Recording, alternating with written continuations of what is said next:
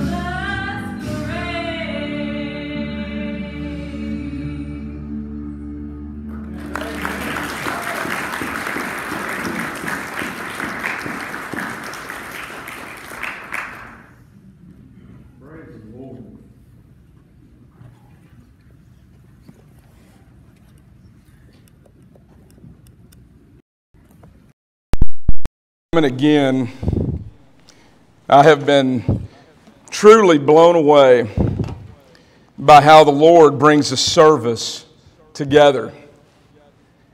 And when I say blown away by how the Lord brings a service together, I'm talking about song selection, I'm talking about Sunday school lessons, I'm talking about special music, conversations amongst God's people, and how it all comes together in the message. And I had absolutely nothing to do with any of it. And that does more for me than anything else. Because it reminds me that God is the one that's in control of this service. It reminds me that this is God's house, that it's His Word, it's His message, it's His music, it's His people, and it's all to His glory. And it's all about Him. If you came here today thinking we were going to do something to satisfy ourselves, well, you're going to be sadly disappointed, and for good reason, because this is God's house. And what happens here is all for Him. All the time. That don't mean that we don't need to be kept in check and have a little discipline once and again, be reminded of these truths. But that's what that was for. I'm glad that you're here. I'm glad you've made the choice to be in the Lord's house this morning. I'm glad that I'm here. I've already been blessed immensely. I hope you were too. Those that were in Sunday school, I was blessed immensely in Sunday school. I was blessed immensely in our worship service. And I was blessed immensely to see some of you folks today that I haven't had the pleasure of seeing uh, for different reasons as you have been serving others in your life and doing those things. And, and I'm blessed to have my Bible open, and I hope you have yours with you. So if you would please, Let's go ahead and get our word out, our scripture out, and let's turn to Paul's second letter to Timothy. And today we're going to begin our next chapter, chapter 2, and we're going to start in verse 1. So let's turn our Bibles there this morning. Hopefully you have those with you, and if you don't have them with you, then when you come back next week, I pray that you'll have it with you then. All right? Because uh, there's no more, there's not a more beautiful sound than the turning of the pages of Scripture. And so have that word with you. And let's get into it and be fed here today. Now, have you, let me ask you a question as we get started. Have you ever found yourself in a position where you felt like the power that you brought to a particular situation or the strength that you thought that you had to rectify something just wasn't enough? Have you ever been in a place like that? Have you ever, how long does it take some of you guys to push on a wall before you realize that it's not coming down by your power alone? Have you ever been in a place like that where you've come to the realization that you just simply don't have the strength and you don't have what it takes? You know, today there's a shift in the thought pattern in Paul's letter to Timothy. We've, we've looked at suffering, and suffering remains part of the equation. And we've looked at some of these things, but today he shifts and he says something right there at the beginning of, of chapter 2. He says, You then, my son, he says, be strong in the grace that is in Christ Jesus. You then, my son, be strong. And then right after that, the scripture tells us how we can be strong.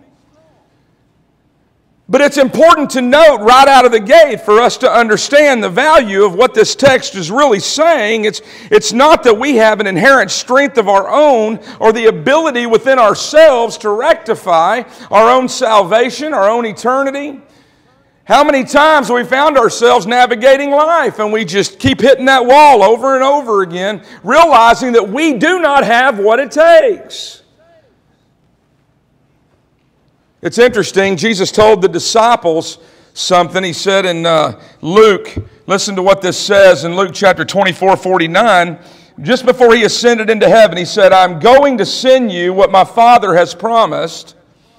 But stay in the city, he said, until you have been clothed with power from where? From on high. Stay where you are until you have been clothed with power on high. The strength that Paul refers to in his letter to Timothy when he tells him to be strong is a strength that is found through our relationship with Jesus Christ. Again, I ask you today have you ever found yourself in that place of weakness where you have struggled, that you do not have what is necessary? Well, I'm here to tell you today, I want to answer that question, and I'm going to give you a very simple answer. That's true. You don't. We are to be strong, but how are we to be strong? We're to be strong in the grace. Strong in the grace. And where is the grace found? In Christ Jesus. That word right there, in dunamao, in dunamao is a phrase, there's a preposition alongside the verb to be strong. The preposition is to be in a fixed location. It means to be fixed in a place. To be fixed in a place, to be strong in a place. And for God's people to be strong, they need to be fixed in a place. They need to be fixed in the grace that is given to us by God, that free gift that we know grace to be. If we are going to be strong as a church, if we're going to be strong as God's people, as called people of God, it is going to be because we are in the grace of God. And to be in the grace of God, we are in Christ Jesus. That's how important that relationship is. The church can't do what the church is called to do without Jesus Christ. This idea that I could get up and somehow uh, preach a message without Jesus Christ, that Scott could come up and, and lead us in worship, and, and, and through his relationship to be given the songs and the things that he does each week without Jesus Christ. There is nothing that happens in this church without Jesus Christ. Do we understand today that it is by the grace of God not only that we are saved, but it is by the grace of God that we continue to have this opportunity to come, to gather together in His house, to open His Word, to learn who He is, and in so doing, to learn who we are. For us to be strong as Christians, we must be in the grace of God. We must understand the value. He says here, be strong in the grace, be fixed in position, be fixed in the grace, be strong in that grace. That is where our strength is. Because in reality, it's not our strength at all. It is simply that which is given us through the power of the Holy Spirit who dwells in the life of God's called people. It is the Holy Spirit that's alive in the congregation that brings power. It's the Spirit alive in God's people that brings power. It's the Scripture alive in God's people. All those things together, that, that is God's grace. It is in Christ Jesus. That is where we are strong. When we find ourselves lacking when we find ourselves in that place where things do not seem to be working, where we have inserted ourselves into a situation, where we have taken matters into our own hands. And how often do we have the tendency to do that? How many times? I can't tell you how many times that this guy right here that I have tried to take matters into my own hands to bring the solutions that I think that I have to rectify a problem.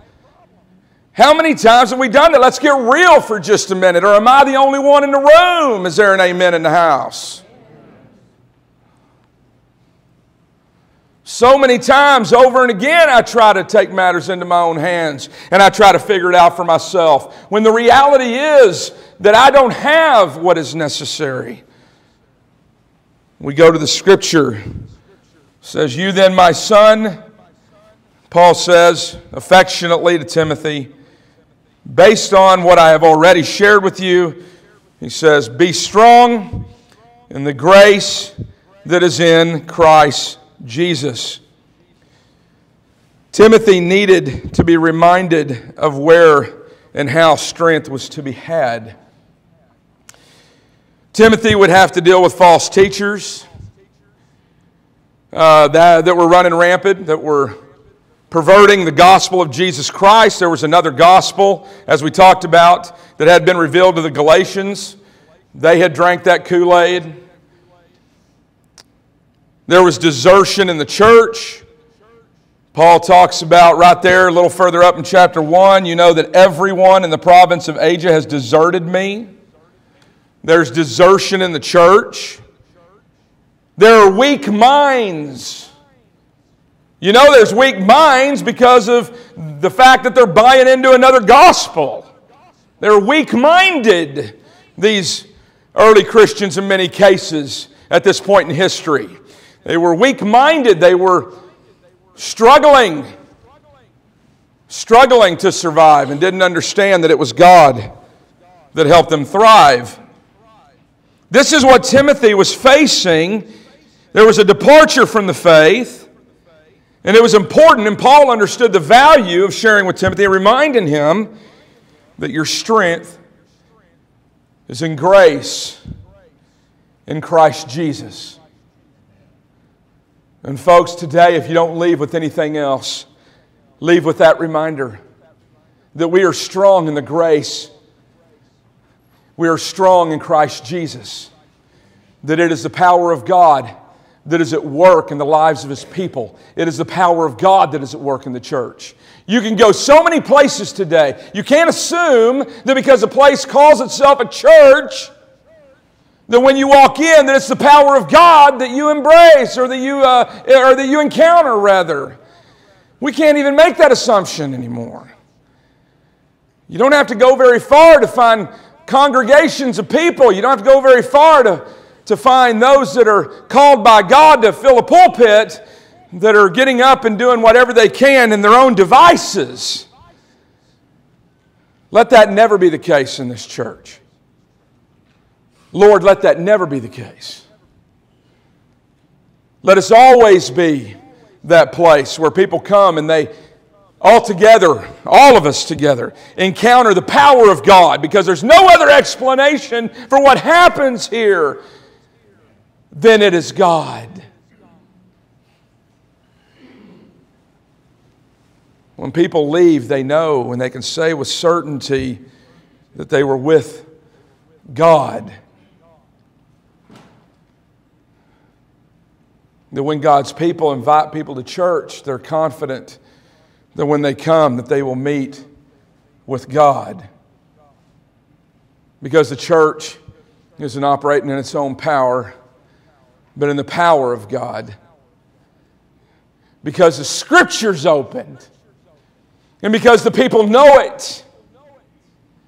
Because we study it, we learn it, and we are fixed in a place of grace. How?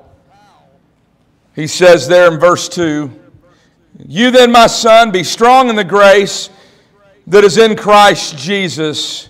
And he moves on to another independent thought. He says, And the things that you have heard me say in the presence of many witnesses, entrust to reliable men who will also be qualified to teach others. So he instructs, Paul says here, he instructs Timothy, be strong in the grace that is in Christ Jesus.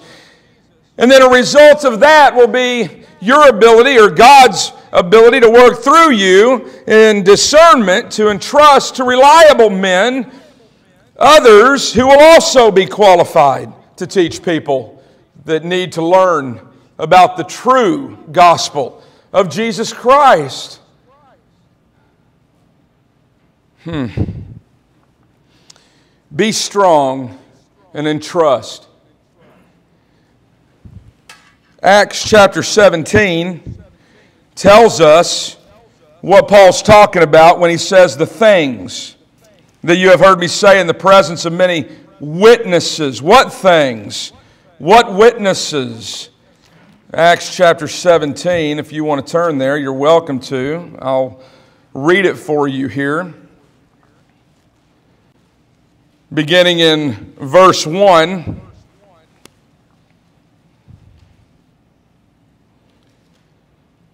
There in Thessalonica, this is the record when they had passed through Amphipolis and Apollonia, they came to Thessalonica, where there was a Jewish synagogue. I want, I want you to get a picture of what Paul is talking about. When he says, And the things you have heard me say in the presence of many witnesses, Timothy joined Paul and Silas in chapter 16 of the book of Acts, and he is still with them here. And listen to what he says. Paul reflects back, and this is one of many cases that make up the scripture there, but this is an example, and I want you to see it for yourself in the scripture. It says in verse 2, at the end of verse 1, where there was a Jewish synagogue. Verse 2, as his custom was, Paul went into the synagogue, and on three Sabbath days he reasoned with them from the scriptures explaining and proving that the Christ had to suffer and rise from the dead this Jesus I am proclaiming to you is the Christ, he said.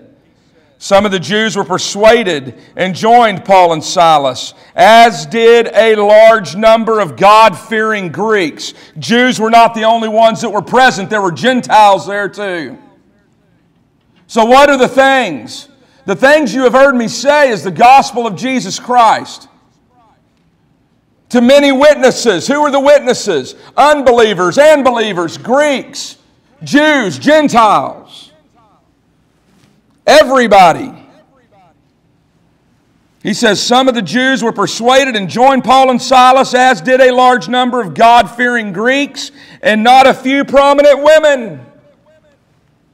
What Paul says here to Timothy is he says, Look, you were with me as we went around, as we traveled around, as I spoke the gospel in the synagogues and many other places for that matter. We don't have a record of every single conversation or every single encounter that Paul would have had where Timothy would have been present, but there's an example of one. Those are the things, those are the witnesses. The things that you have heard me say, the doctrine that you have heard me talk about, the truth that I have reasoned in the synagogues numerous times over, the Jews, the Gentiles, the believers, the unbelievers, those that were present. He says, in light of those things that you have heard me say, that training that has taken place, entrust those things Entrust to reliable men. Entrust. Can I tell you something today, folks? You can't entrust to someone that's reliable if you don't know what's reliable. This is why it's so important for us to know the Word of God. This is why it is so crucial that we know the Scripture. Because what is the standard for reliability? How do you determine who's reliable and who's not reliable? That word in trust, it's a Greek word, and I believe it is pronounced para tithemi. Para tithemi. Again, it's a phrase with a preposition and a verb. The preposition para means to place. Tithemi means to, in close proximity, to place, to, to put something near, to place something in close proximity, to entrust them, to take the deposit that was given there in chapter 1 and redeposit it into the life of someone else. That's what he's saying. Well, what's the standard for reliability? I'll tell you. A knowledge of the scripture is a standard for reliability. That doesn't mean that every Christian walking the face of the planet needs to know a Hebrew or a Greek word for everything or needs to automatically be able to go and cross reference from three locations in the Word of God as soon as they hear someone say something from one location and automatically move to three others. But there's a working awareness. There is some knowledge displayed and known by an individual in the Word of God. That's a reliable person.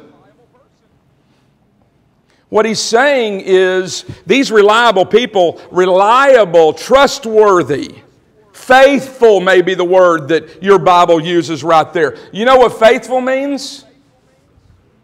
I'm going to get like really profound on you. It means full of faith.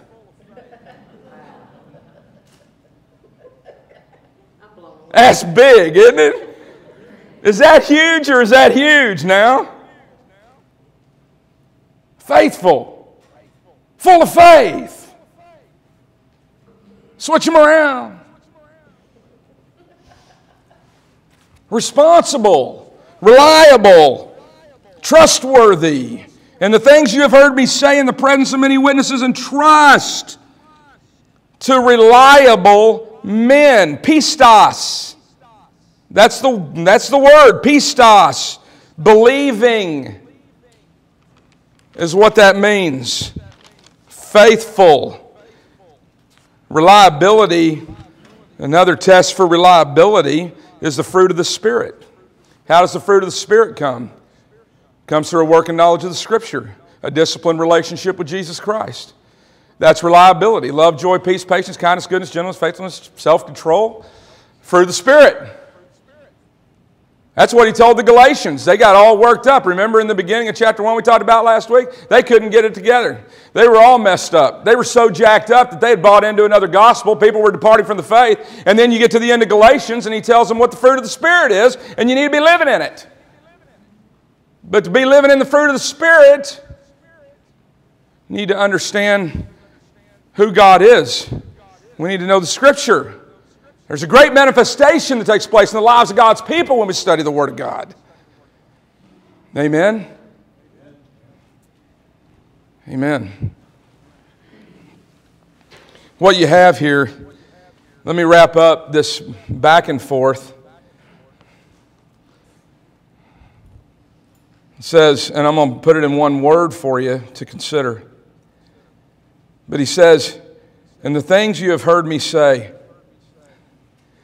entrust to reliable men who will also be qualified to teach others. Now, that's discipleship. That's a picture of discipleship. That's a picture of people that take the Word of God that they've studied, and then they, and their willingness and their submission to be a tool used by God for His glory, make themselves available so that He can spill that back out into the life of someone else. It's discipleship. What are you doing right now to disciple somebody else? Do you have a one on one with anybody in your life right now that you're discipling? See, the thing is, is right now, here, God's people find themselves in one of two locations when we talk about this. One, either I don't believe that I am qualified, or two, I may be qualified, but I don't feel the sense of urgency to spend that time with somebody else that is in desperate need of what I do know. Where are you today? Are you in that place where you may be thinking, you know what, I'm not qualified, I'm not one of the, I'm not reliable? Well, then how do we take care of that? We start getting in the Word of God and we find someone to disciple. We get into that relationship. We spend that time there. We let God move and we give Him that opportunity. Maybe, maybe you're one of those that says, you know what, I, I, I, I do have a working knowledge of the Word of God. I, I feel that, that God obviously does want me to share that with somebody else. And, Well, then what are you waiting on? What are you waiting on?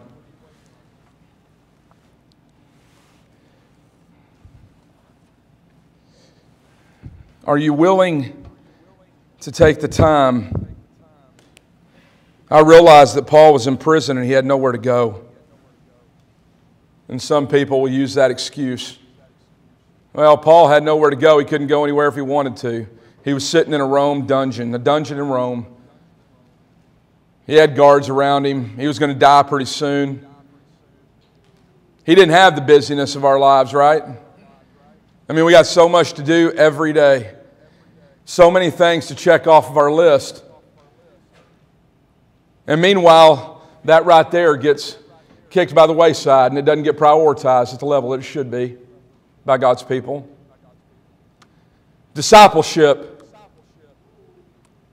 Taking what has been entrusted to us. God did not give us the gospel, the life saving power of the gospel to hoard it and to keep it to ourselves.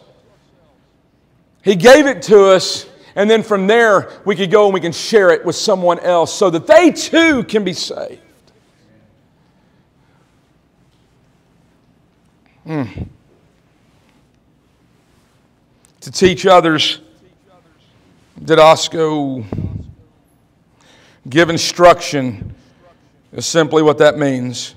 I want to take this and just narrow it down. I'm going to drill it down to three things for you today, and we're going to close. I want to give you some takeaways. One, to be strong is to be in Christ. To be strong is to be in Christ. Okay? So be strong. Be in Christ. Two, hearers of the word can be speakers of the word. You don't speak the word, you need to be a hearer of the word. The only reason that Paul saw this potential in Timothy was because Timothy was there and he heard what he said. He witnessed it and he heard it. And he took it to heart, and this was evidenced in the scripture because he compliments Timothy to other congregations.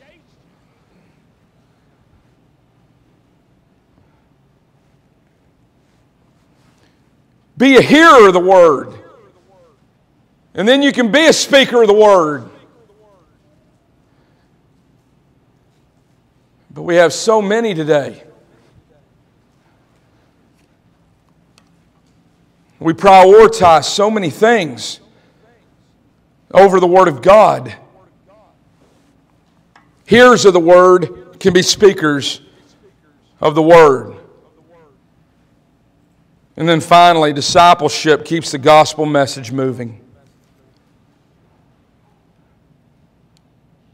Take that away today and ask yourself give the Holy Spirit that opportunity to examine your own heart and where you are today. Am I a disciple of Jesus Christ? This message is for all of us to be strong in the grace that is in Christ Jesus. To be strong in that gift. And then to see the power not the timidity, but a, the spirit of power and of love and of self discipline at work in the lives of God's people. I'm going to ask our team to come up, and we're going to have a time of invitation this morning.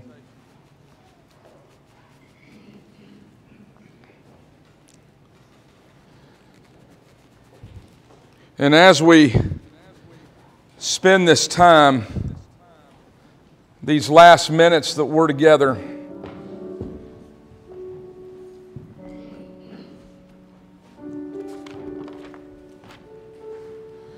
I want you to give some serious thought to what the Lord has shared with us today.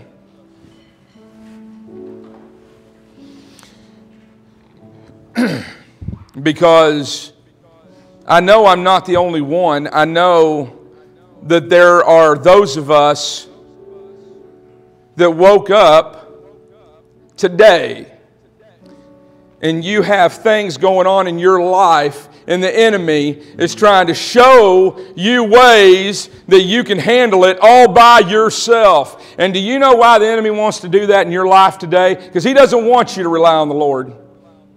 He doesn't want you to be reminded of the grace that comes as a result of that relationship you have with Jesus Christ. Satan would love nothing more than for you to try to keep tugging on that rope to no avail. He would love nothing more than for you to just keep operating in your flesh over and over and over again today. But that is not what the Word of God teaches. And that is not what it looks like for the Christian when we come into a relationship with Jesus Christ. We don't have to rely on our flesh to do those things that only God can do. We can actually rely on God to do it.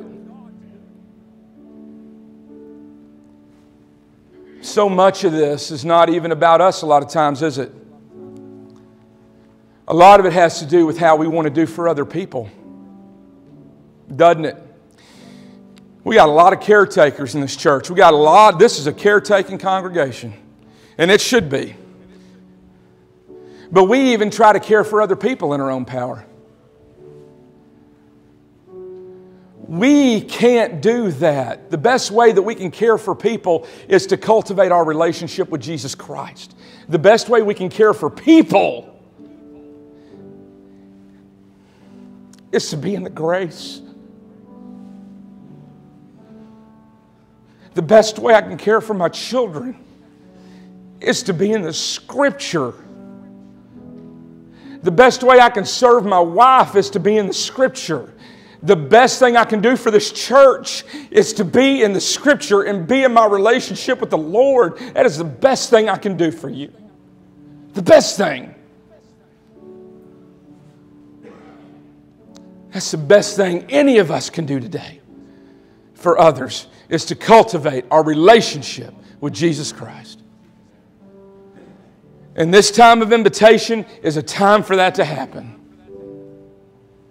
It's an opportunity for God's people to say, you know what? Yes, I am going to make this time. I'm cultivating that relationship now. I want to be strong in the grace that is in Christ Jesus. Well, all right.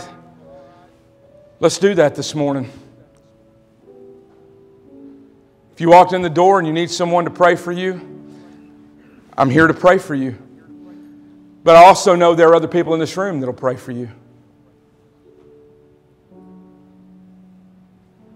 If you're tired of tugging on the rope, well, let's have a talk with Jesus about it. And let's quit tugging on the rope.